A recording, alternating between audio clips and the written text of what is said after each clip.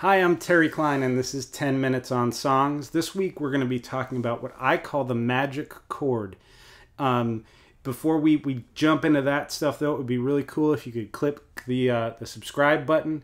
Um, as far as I can tell, that will not affect your life in any way. I subscribe to a bunch of channels, and I don't think I've gotten a single notification in any context whatsoever.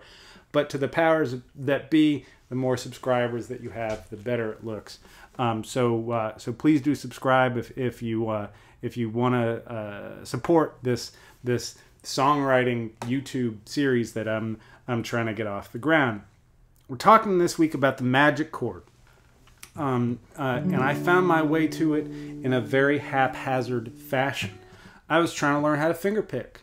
Um, it was shortly after I had started writing songs. I'd played guitar for a long time before I started writing. Um, but I'd never learned to finger pick in kind of a systematic fashion. Um, no patterns really. Um, so I decided to try to learn some basic finger picking patterns. Um, and uh, the the the so what I did is I went on YouTube um, and and watched a couple. And the best one that I found, and I don't think it's up anymore because I've tried to send it to other people who have asked me how I learned to finger pick. I think it's gone, but the best one I found was a guy teaching people how to fingerpick based on the Bob Dylan song "Don't Think Twice." It's all right. That song is on uh, the Freewheelin' Bob Dylan. I think it's one of his very best songs. I think it's one of the best songs ever written. Um, but I was just learning how to fingerpick, and I loved the song, and it was so cool that I could do it based on this. Uh, that I that I could do it, learn learning also this song that I love so much. So what I did is I sat down um, and and watched the video, and he walked through it super slowly. He wasn't even teaching the pattern yet. He just walked through the chords.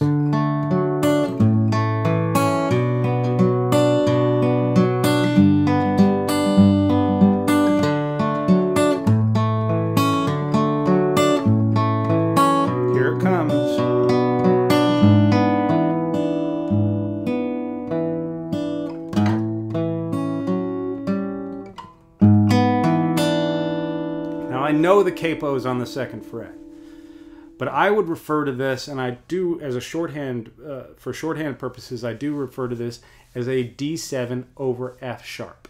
Um, the uh, it's actually with the capo on the second fret and E7 over G sharp, um, and um, the the theory geeks would probably prefer that I call it a dominant seven with the third in the bass, uh, but that's what it is. Um, a few months later, um, I decided I wanted to learn the Robert Earl Keen song "No Kind of Dancer." It's um, I think it's his best song, which is saying something because he has a lot of really, really extraordinary songs. Uh, um, but it's my favorite, and I think it's just an incredible, incredible work of art. At that point, my ear wasn't uh, what it is now, so I had to jump on online and, and look at, at online tablature um, websites and, and see if I could if I could pick my way through it uh, that way. Um, the first thing that I saw had it going like this: the first of the month brings back the notion of a big round wide dance hall on a cool summer night. I knew that was wrong. That was wrong. I knew it was wrong. Um, so what I did is I jumped on YouTube and I started looking at videos of Robert Earl Keen himself playing the song. Uh, and what I noticed is that he did this. The first of the month brings back the notion. There it is. There it is, D7 over F sharp. Of a big round wide dance hall on a cool summer night. So I'm still not sure if it registered with me yet, like how special that chord was and how it could accomplish, how it could kind of carry so much emotional weight, way out of proportion to just kind of what it is. It didn't really occur to me that this happened in, let's say, three of my eight most favorite songs until I uh, was trying to learn Girl from the North Country. And I think it was the same guy who did that Don't Think Twice um, tutorial doing it on Girl from the North Country because it's a slightly different finger picking pattern. So he goes through that, and again, he goes super slowly, talking about the, you know, just so you can get kind of a handle on the chords, and he goes.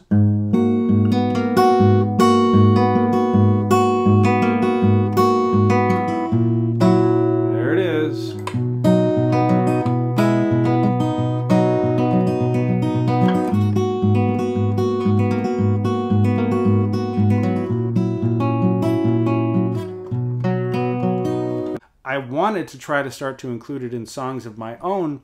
Um, my songs at that point were still really rudimentary, um, and uh, and so it didn't happen um, until um, I was working on a, a song of mine um, that I'd written and rewritten a bunch. Um, it's called Madeline, and it's on my first record. and uh, the choruses, you know, are in uh, the key of F, and it's you know super basic you know, uh, like that. And then at the end of each chorus, it goes, My oh my, my oh my. So verse, chorus, verse, chorus, and then it goes to this bridge. Madeline, my name is so I wish their life had been sweeter to me.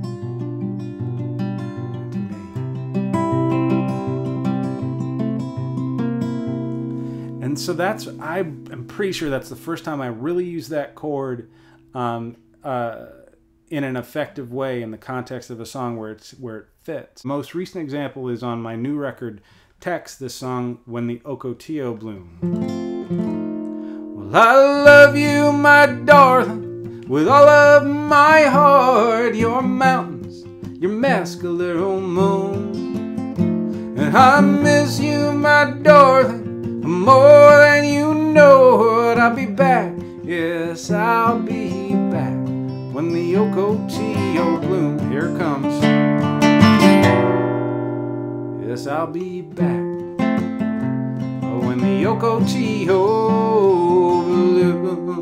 blue. I, you know, I've been thinking about this chord as I've been as I've been getting ready to do this thing this week, and I think that um, what it accomplishes somehow is this ambiguous melancholy.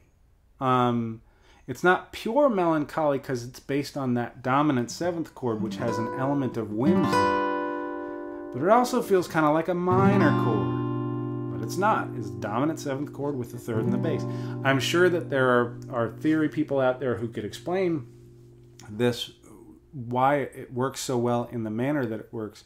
Um, and there might even be some neurologists who can explain what specific neural pathways it hits and what neurons it causes to fire that make you feel that sort of oh that feeling that you get when you're listening to Don't Think Twice and No Kind of Dancer and Girl from the North Country. This this feeling of of of of loss, but also kind of of you lost something that was kind of fun when it was happening. The most recent version of a song that's come out that has it that I worked on um, is a song I co-wrote with Jordi Baizan and Todd Withers it's called Between the Sun and the Moon. It's the first track on Jordi's new record, Free and Fine, which came out at the end of June of 2019. It's a wonderful record. I encourage you to check it out. Um, and so we put that chord in the in the bridge of that song, um, which goes like this: Across the floor, step by step, dust to dawn and breath to breath, wishing we could stay right here. So that, like, that is where that, I mean, the emotional context in which that chord works is really kind of what I was just talking about. It's, um, it's um, two lover, two people who are dancing, um, but it's a love connection that never gets made. Um, so again, there's a, a, whimsy to it, a dance, but um, an element of sadness also. I think it is the magic chord. Um, if there are examples of it that you know of that I haven't covered here, throw them in the comments. I'd love to check them out. If there are songs that you've written, um, I'd love to check that out too. Um, But uh, this has been 10 Minutes on Songs, and I hope you all have a good week, and I'll catch up with you soon.